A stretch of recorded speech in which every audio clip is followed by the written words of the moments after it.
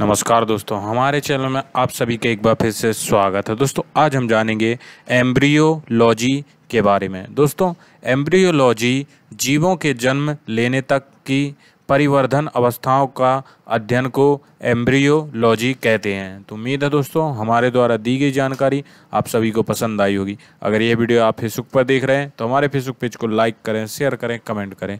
और अगर यह वीडियो आप यूट्यूब पर देख रहे हैं तो हमारे यूट्यूब चैनल को सब्सक्राइब करें शेयर करें कमेंट करें। धन्यवाद दोस्तों।